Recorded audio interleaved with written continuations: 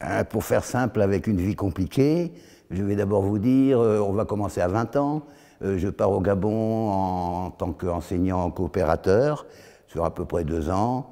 Euh, déjà marqué par l'Afrique, je rentre pour un merveilleux mai 68 en France, donc, dont je profite bien, dont je m'amuse bien. Puis une vie de hippie pendant quelques années. Puis après, je rentre dans une secte bouddhiste japonaise qui va un peu me calmer, disons, mais toutes mes bêtises. Et puis, euh, pour devenir Bouddha plus vite, je vais apprendre le chinois, puis un peu, surtout le japonais. Je vais apprendre à parler le japonais pour euh, comprendre plus, pour entrer plus dans ce peuple, pour mieux comprendre leur mentalité. Je vais rentrer dans une galerie de tableaux japonaise avec les premiers japonais qui arrivaient à Paris à l'époque. Et je vais tomber en amitié, grâce au ciel, avec le patron de cette galerie, qui était évidemment un homme très riche, et qui m'aidera par la suite.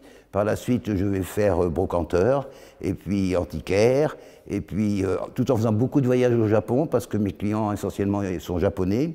Donc je continue à m'imbiber de culture japonaise, et je découvre cette chose merveilleuse de découvrir des mentalités très très différentes, et je découvre que c'est un grand enrichissement, et je, je, me rends compte aussi que le Japon, euh, les gens sont un peu comme des martiens pour nous, ils vivent vraiment dans une autre mentalité. Et ça m'a marqué. C'est-à-dire que peu après, quand je vais, bon, je continue donc ma vie de marchand de tableaux, je fais une belle faillite, je reste avec une petite collection d'art africain que, que j'avais conservé, que j'avais réussi à sauver du désastre, et je deviens marchand d'art africain, un peu difficilement parce que j'avais fait faillite, c'était pas simple. Et en, 1900, en 1997, oui, euh, j'arrive au Togo, ou pour euh, faire le commerce des objets. Mais comme j'avais toujours gardé en moi cette, euh, cette, tension mystique, cette volonté mystique, évidemment, arrivé, euh, tout de suite, je me suis penché sur la. J'ai voulu me pencher sur les religions locales. Je savais en plus que le vaudou était très, une religion très importante dans la région. Donc, je me suis dit tout de suite, je me suis précipité presque pour étudier en même temps que mon travail. Et ça a duré donc une bonne vingtaine d'années. Euh, en abandonnant petit à petit le commerce et puis en profitant d'une bonne retraite à la fin. Petite retraite, mais bonne retraite. Et je suis rentré donc en, il y a 2-3 ans maintenant, en, 2017. voilà. Je n'ai pas voulu devenir prêtre vaudou, je ne savais pas au départ. Je voulais simplement étudier le vaudou.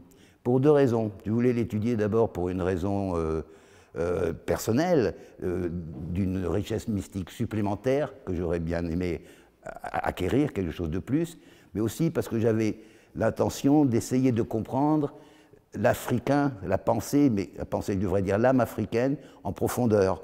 Ça m'intéressait justement parce que je pensais que les Africains, nous ne les comprenons pas, parce qu'ils sont aussi différents que les Japonais pour nous. Je veux dire, c'est un autre monde, un monde différent, et ça m'intéressait de voir l'Afrique au fond des yeux, d'aller au fond de l'Afrique. Et je ne pensais que c'était que par le vaudou que je pouvais arriver à cette, euh, à, cette compréhension de ce monde africain. Et bon, la suite a fait que euh, j'ai continué parce que quand je commence quelque chose, j'ai souvent l'habitude d'aller jusqu'au bout. Donc euh, j'ai été jusqu'au bout.